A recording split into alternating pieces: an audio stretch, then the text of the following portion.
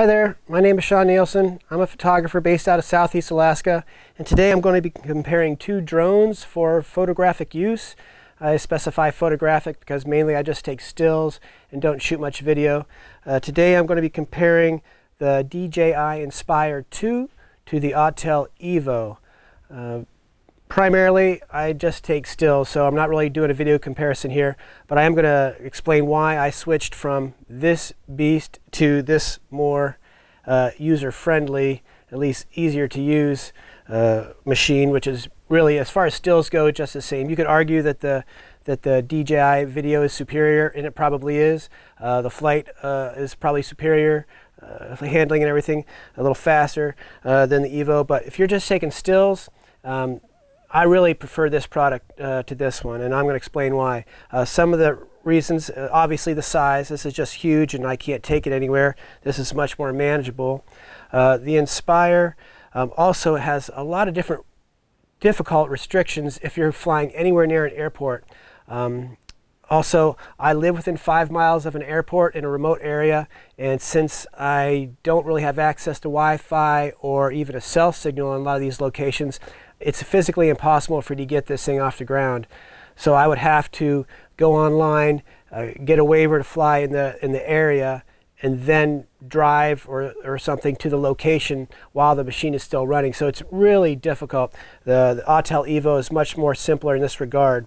Image quality, as far as that goes, I think the stills, the digital negatives, the DNG files on the Evo are just as good as those from the Inspire. And it just seems so much simpler and I get the same product and obviously it's a lot cheaper too. This is about a, a $3,000 bird. This one's about 800. So I'm going to also go through, uh, I guess the last reason is just the ease of setup. This takes a really long time to set up uh, and take down and this one goes really quickly. So I'm going to go ahead and start my stopwatch and uh, see how long it takes. Let's start with the uh, Inspire first.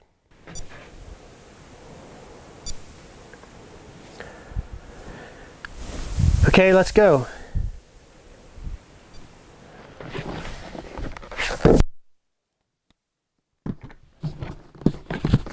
Six buckles or clasp to get this thing undone.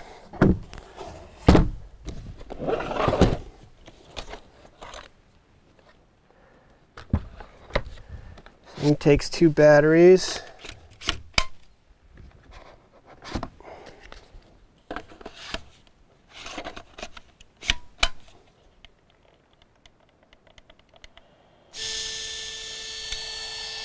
Power up the bird first. Get the camera on there. This is an X4S. Not that it matters too much for this demo.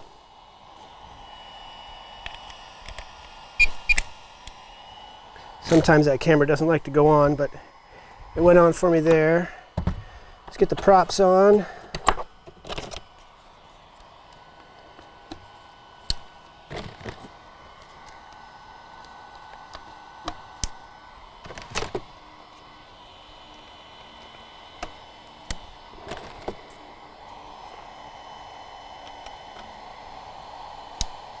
Okay, get the controller out.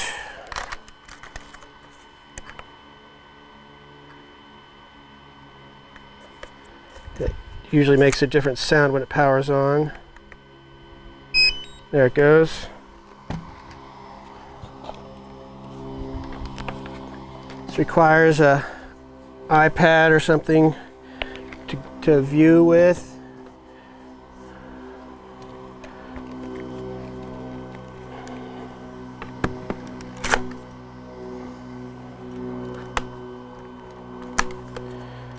Secure that in place, connect it.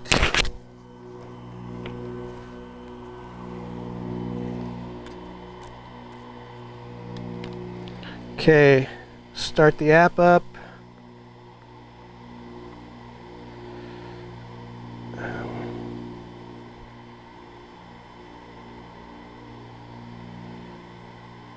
There it is.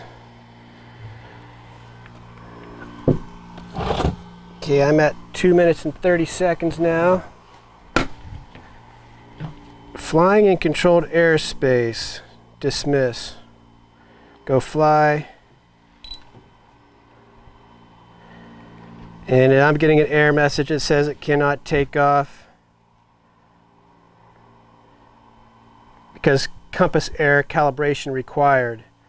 Um, that happens occasionally, so I've got to calibrate. Calibrate, yes.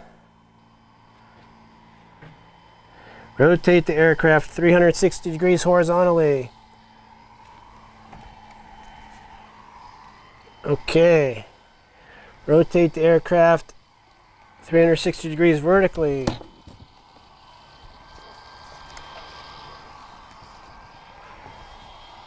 Okay. Guess I wanted to do it like this. ATTI mode. Mode. Says satellite position off, fly with caution. Didn't like that calibration. Oh, now it's taking, now it says cannot take off. Why is that? Calibration required. I'm at 3 minutes and 54 seconds now. So let's see if I can calibrate it. Try again. Rotate 360 degrees horizontally. Okay, did that.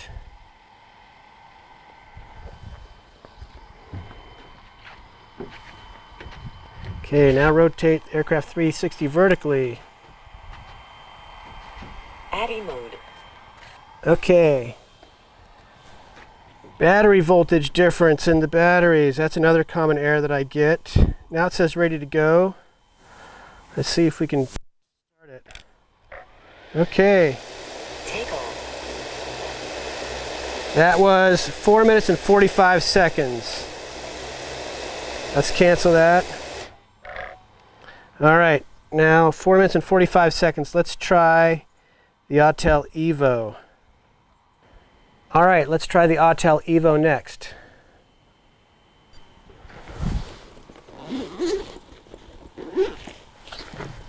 This one just flips right out. Props are already attached. This also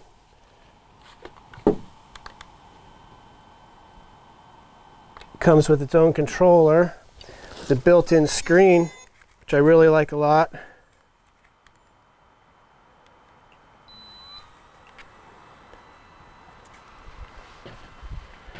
Just powering up, connecting, connected, ready to go.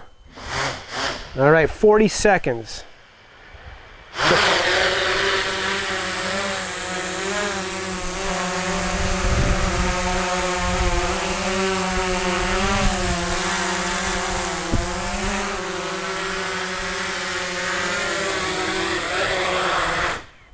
All right, I love it. 40 seconds and I'm up and flying. I can put this thing away and go down the road and or the trail or whatever and do another uh, flight.